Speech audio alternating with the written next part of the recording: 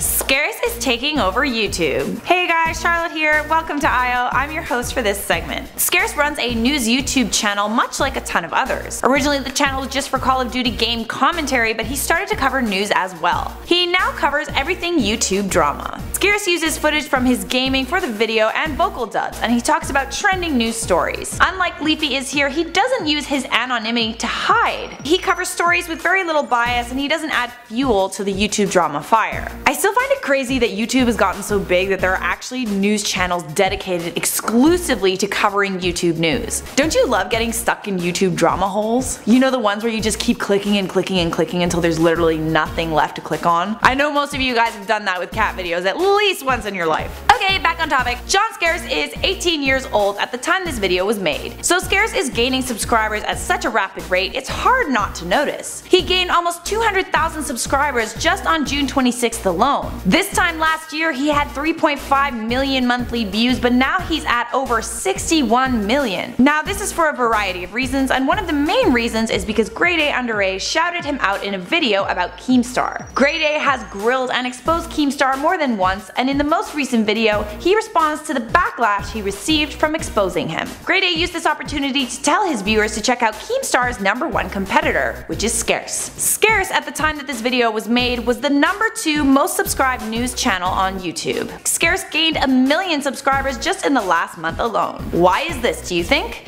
Well, most likely it's because people are over the drama that sells so well on YouTube. Grade A Under A promoted his channel as a way to make YouTube great again. Keemstar is losing subscribers at such a rapid rate that Scarce has actually officially surpassed Drama Alert. Now I actually didn't know about Scarce until I saw their logo in the Poodle Corp video that they had posted on their channel. I was covering a different video about LeafyIsHere getting hacked. Now Poodle Corp only has that one video up on their channel and all it is is a loud beeping noise and they show the Poodle Corp logo, the Scarce logo, and the Drama Alert logo. Not really sure if that was a ploy to point blame at who was responsible for the hack, but why did Poodle Corp put Scarce's logo in their video. Anyways guys, those are just a few of the reasons why Scarce is taking over YouTube. If you guys enjoyed that video, give it a big fat thumbs up, don't forget to subscribe, and maybe click one of these two videos over here if you want to keep watching I.O.